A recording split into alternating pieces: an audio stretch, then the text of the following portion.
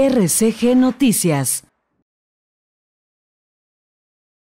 Bajo el resguardo del DIF Coahuila se encuentra un menor migrante de aproximadamente dos años y medio. El menor habría sido rescatado por elementos de seguridad pública pues fue reportado como abandonado la noche del miércoles en la colonia San Isidro. Presuntamente, el menor formaba parte del grupo de migrantes que se vio involucrado en un tiroteo con elementos de la Fiscalía General del Estado, en el que un hombre salvadoreño perdió la vida fue atendido eh, como todos los niños que llegan a ingresar y durante el transcurso de la noche madrugada eh, del día de hoy ya nos informan que eh, al parecer es el niño que venía acompañando a, un grupo de migrantes, ¿verdad? que cual desconocemos la situación, nosotros simplemente nos encargamos de,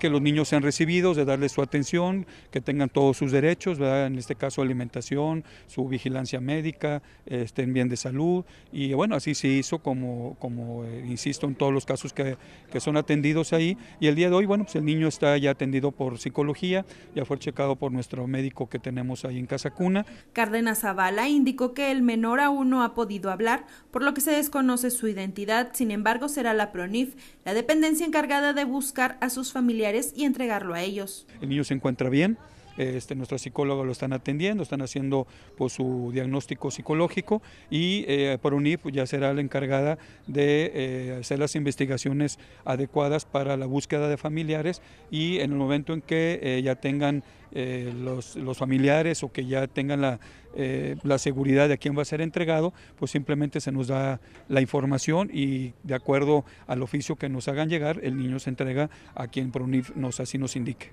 Con imágenes de Gerardo López y Beto Treviño informó para RCG, Ana Ponce.